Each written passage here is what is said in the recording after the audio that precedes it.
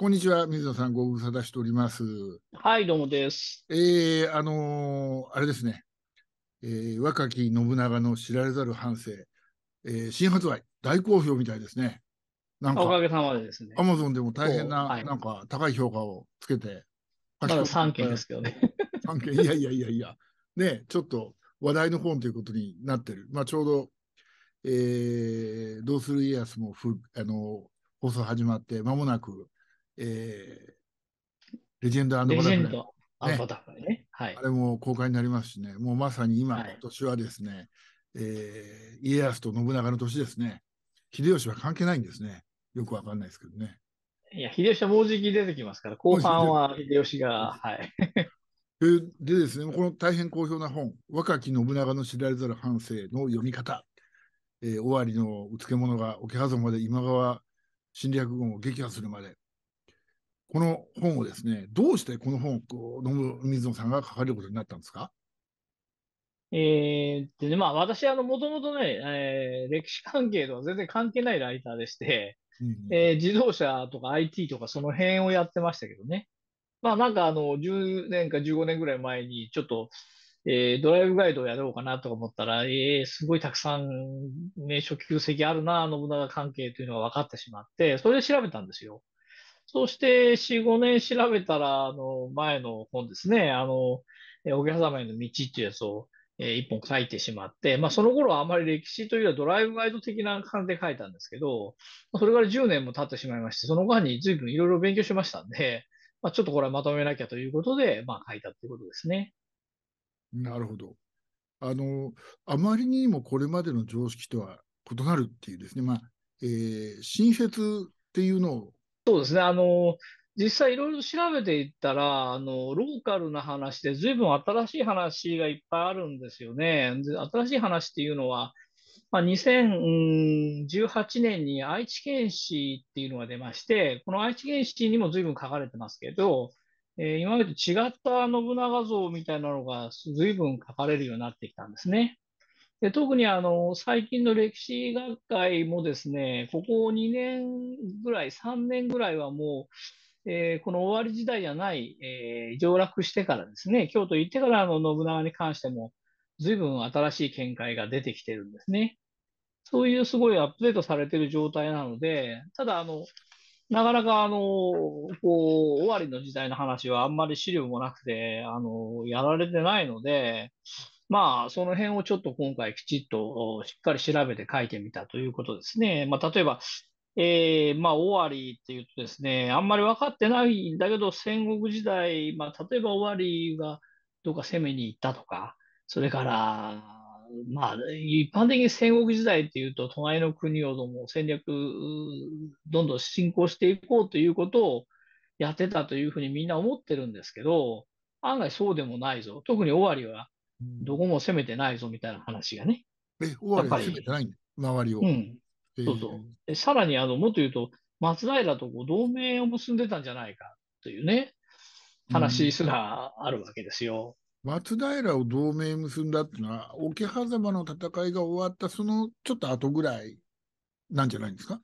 まあまあ、そう、そうなんですけど、そうじゃなくて、もっとその、そうですね、信長のおじいさん、うん、信貞って人ですけど、まあ、その人の時代に、ちょっとした同盟的なものができてたんじゃないかなということも、まあ、いろいろと調べていくとお思えてきたんですね。えーまあ織田と、それから、えーっと、えー松平。松平の間に、実はうん。同盟に近いような関係があったんじゃないかっていう。そうそうそう、反今川のね、おーなるほど、なるほど。という、まあ、不思議なこともちょっと見えてきたりしてですね、まあ、なかなか、あの、その辺のことが分かっていかないと、信長が最終的に今川義元と戦った理由っていうのもちょっと見えてこないのかなという、そういうスタンスで書いてますね。うんなるほど。この主要、このね、その、えーおじいさんの時代にどんなことがあったかっていう、この、まあ、主要登場人物相関図っていうのがあるんですけど、あの、この中で誰が重要な人物になりますかね？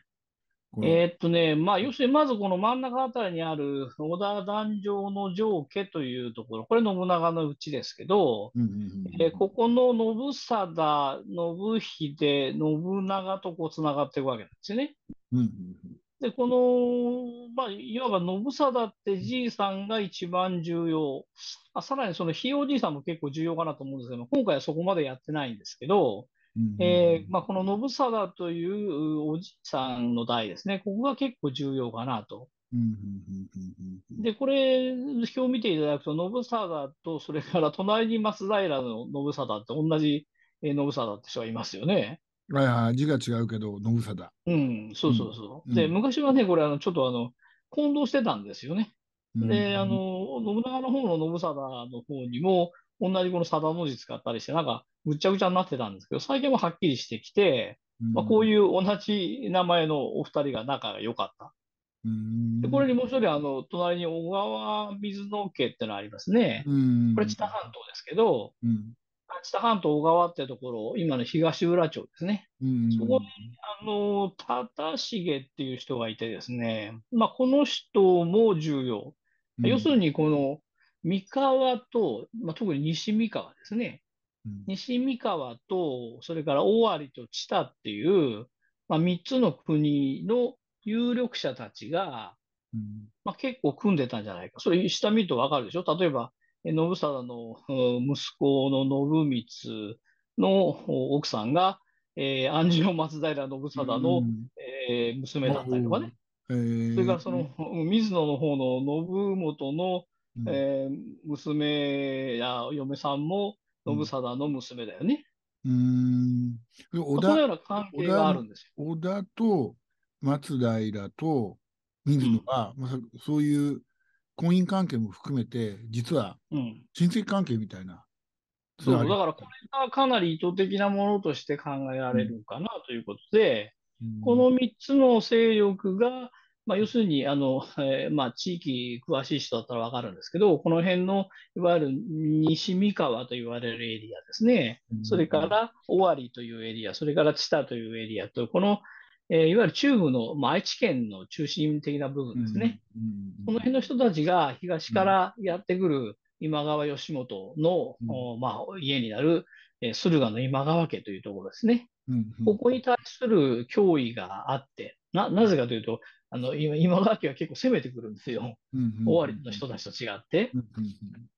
で、まあ、そこをちょっと対抗してたんじゃないかなという気がするんですね。なるほど。あの、桶狭間の時には、すでに、えーっと、松平、えーまあ、その信康君は今川の一派じゃないですか。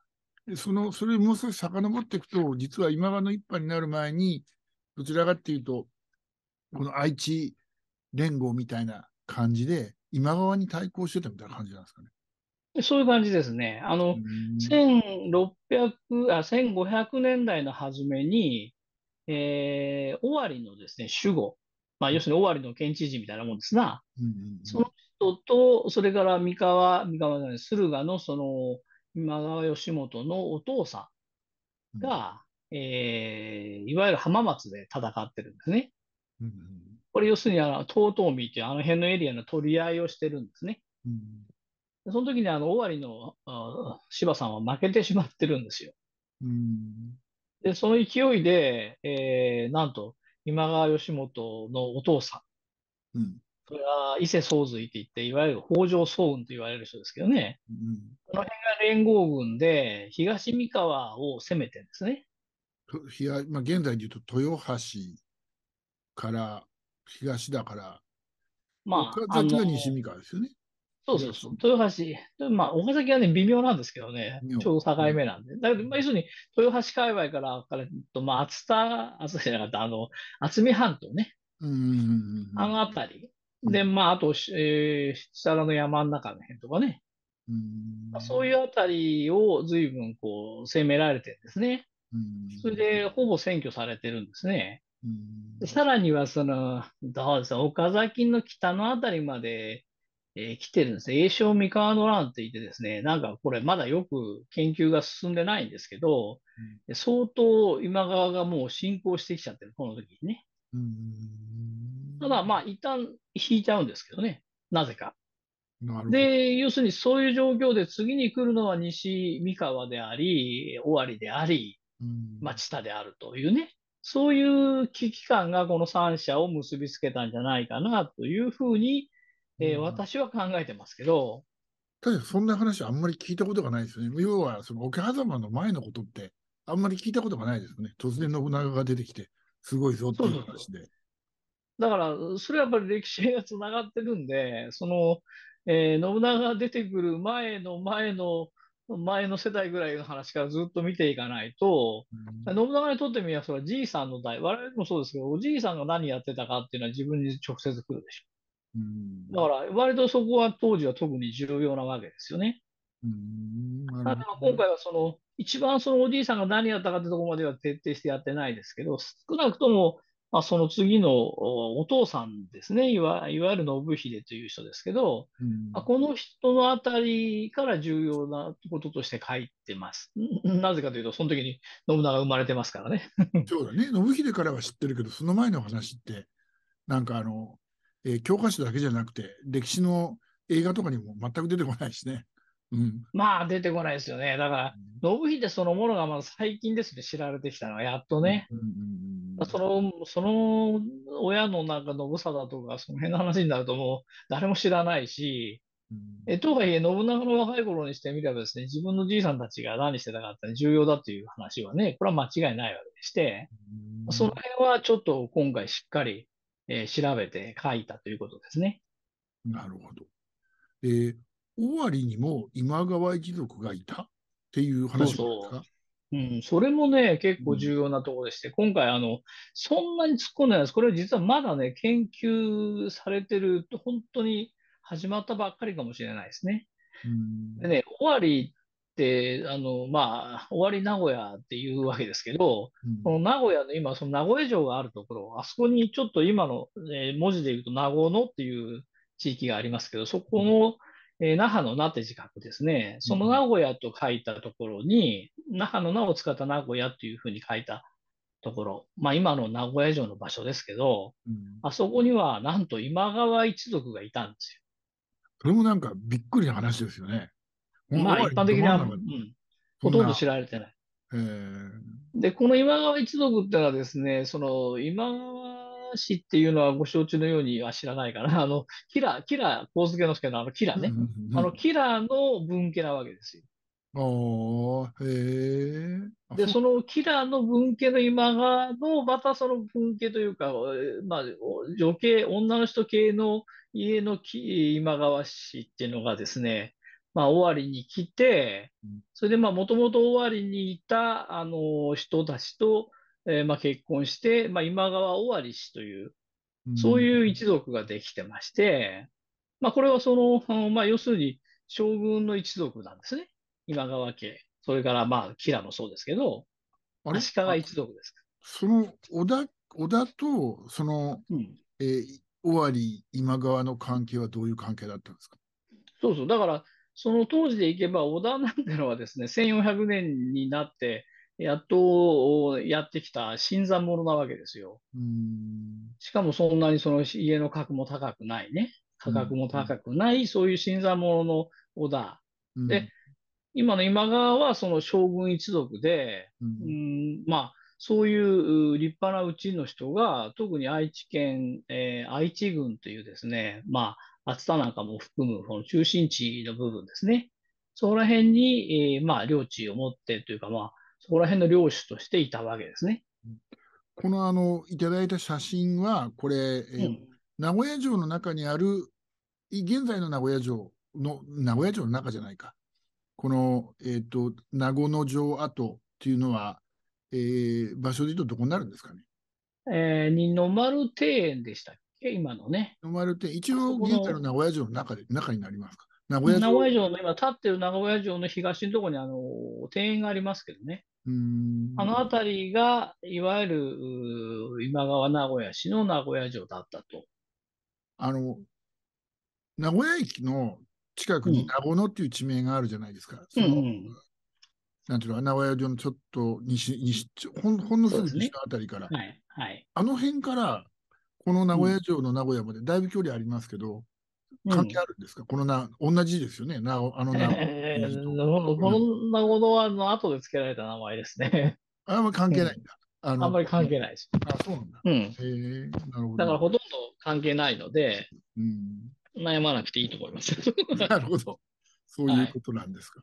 へえうん、で、いや、問題なのは、その、今言ったのは、えっと、名古屋の、えー今川氏、今川名古屋氏の名古屋城を、信長のお父さんが攻めてるわけですうんうんうん。なるよ。ほどうん、で、信秀、信秀。その、がね、うん信秀がその、おまあ、これは一般的にはしばしという、その、先ほど言った県知事にあたる、うんえー守護ですね。守護から、まあ、指示をされて、うんえーちょっと信秀、あの、ちょっと最近今川名古屋氏と仲が悪くなったから、うんまあ、やちょっとやっつけちゃってくれって言われて、うんで、信秀がはいはいと言って、今川名しばしってよくわかんないですよ。しばしってでもあれなんだよね。要するにその、えー、その前のあれか、え、な、な、何？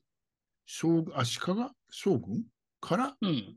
その、まあ、いわゆる仕事として、あんた知事やりなさいよっていうふうに言われてる人みたいなそうそう。だけど、まあ一応親戚ですよ。今川、あーそれから芝、えーその辺は全部、その、えー今川将軍家の親戚筋ですよね。なるほど。元をたどるとね。だから、足利、足利将軍、足利将軍家につながるっそうそていうことですう。ねそう、足利将軍家につながっているつ。ながるっていう人たち。で、小田は実はそこから行くと、そういうのとはちょっとレベルの違う、あの、下っ端。道みたいな、あの、まあ、もうボソッとどこ、言ったもんですよねどこにすらなってないという、そういう元々の家はすごい超下っ端なんですよ。うん。うん。で、それはあの、家康の松平もそうでして、もう出身がどこかすらはよくわかんないと。ああ、その、その、遡っていくと、現地が平家か勝手に名乗っとるだけで、もう全然どこの、どこの誰ともよくわかんないというね。うん。そういううちなんですね。さっきの水野もそうなんですね。うん。うん。もう実はよくわかんない。まあ、要するにそういうよくわかんない者同士で力を持った連中が、うん。こう名門の今川にた対抗するとうん。いうような感じが先ほど言ったと信長のおじいさんたちが踏んだ話でじゃあすね。、尾張今川は、このうん。現在の名古屋城の二の丸公園のあたりを、うんまあ、居城にしてある程度の力を持っていた。し、芝ちゃんはどこで持ったんですか？あの、千葉ちゃんはきあの清須ですあ、芝ちゃんはよ。清清須清須にいて、で、まあ、なんて言いますかね、えーやっぱりあの当時実力の世界なんで、だんだんとしばしっていうのはこう、えー武力もあんまり弱く、それからさっき言ったみたいに今川とやって負けて帰ってきたりとかですね、いろいろあって、うんうんうん信長の時代になるとどんどんこう力が弱くなっていくんですね。もともと信秀ってし芝の配下みたいなもんですよね。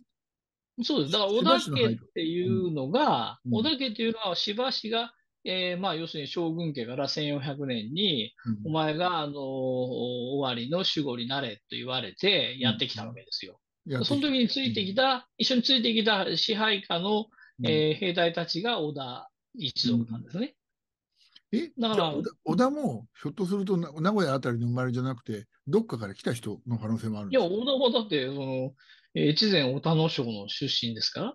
あ、そうなんだ。織田家ってもともとこの名古屋尾張地方発祥の人じゃなくて、まあ、流れ、流れ着いてここで力をつけたみたいな感じなんですか？まあ、流れ着いてるというよりは、その将軍、将軍じゃなかった、その、えー、しばしと一緒にですね、仕事一緒にやってきてるので、要するに、なんだろうな、あの、戸ざまでやってきた武武将たちですよね。だから、先ほど言ったように、その、えー今川名古屋市の方がずっと地元にいる人なんですうんうんうんうん。ということは、その尾張の先ほど言った愛知郡っていうのは大体今川を、実質的に、えー今川名古屋市が支配してたんですよ。うんうんうんっていうことは、あの辺りに、その辺りにいた、その、まあ、要するに国衆って言われる同豪たちですね。は、基本的にはその今川名古屋市の配下にいたんですね。うんでこれも全部その、その後の信長の戦いに関連してくる話でして、うんそういう時代背景というか、そのなんでしょうね、人物的な背景がすごく重要でしてね。うんあ信長は突然その、なんか偉くなったふうに見えてるんですけど、そういうもんでもまたないですよね。うんなるほということで、あの、まずその、信秀っていう人がとにかくその、あまあ、信貞というおじいさんが、えー対馬という港を支配して、ど。ああたくさん、そこから対馬金がね、うんそうそうそう。あの、おじいさんが対馬というところを支配して、うんすごい金がバカバカ入るようになったわけですね。うんで、それからその後、まあ、その息子の信長のお父さん、つまり信秀の代になって、今の今川、えー名古屋市を追い出して、うん今度名古屋にやってくるわけですよ。うんで、名古屋にやってきたら今度は厚田を支配するわけね。厚田その時の港に。清須は芝市じゃないですか。で、名古屋は今川がいるじゃないですか。小田はどこにおったんですか？で、小田はだから小畑っていう、その対馬のそばのあ海東郡というねう、んうんうんうんうんうんそこに、まあ、織田の信そ秀はは名古屋でもなくて、対馬のあたりにおったんだ。小田ちゃん、そうそうそう小田一族は。そうそうそううーんなるほど、なるほど。で、そ織田一族というか、織田壇上の上下という信長の家が、小田、あ、そう、小田、小田、ううんん信長の家が。へえだって。織田一族はもう愛知県内にあちこちにいますからね。あの、なんかでもその小田一族が対馬だっていうのはなんか、イメージがあんまりないですね。その対馬ではそういう、あれなのかな。オラが町のヒーロー、織田信秀、信長みたいに、対馬で織田を祀っとるんですかね。いや、松戸ですよ。だってその対馬神社っていうのは織田のももう直系ですから。あもっと言えば、対馬神社の木工門が、対馬神社行くと、織田の木工門がボーンと出てますよ。同じもんですからね。なるほど。だから、そういう意味では、その、対馬と織田ってのはもうがっちり組んでますね。で、織田壇上の条件、信長の家はね。なるほどね。あの、うん対馬の港を支配したことで経済力をつけたって話は、まあよく聞くんですけど、意外と対馬と織田家のつながりっていうのも、これもあんまり、なんか、教科書に出てこないような話のような気もしますけど。まあ、そこら辺をね、あの、うんここの本でですね、しっかり読んでいただくとですね、一応全部その辺の流れは書いてありますので、なるほど。あのほ、その辺の解説をずっとしていかないと、まあ、信長って人はなぜ出てきたか、ん信長って人はなぜ大割で戦ったか、ど最終的に今川と戦ったかというところが全然見えてこないんですね。うんだから、あの、一般的な、あの、ほら、あの、歴史の常識みたいなですと、信長は、うんと、尾張の大名で、そのじ弱小大名で、その弱小大名を大大名の今川が攻めてきたみたいな話が多いでしょ？そうだと思ってますよね。私もそういやいや。うん、だけど、うん信長の弱小大名ですらないんですよ。うん大名にもなってないですね。先ほど芝市のところの部下の一つの家に過ぎないですから。うんうんうんうんだけど実力をつけていって、うんまあだんだんと、まあ最終的には奥狭間の戦いの手前の頃ではほぼ大名並みになってるんですけどね。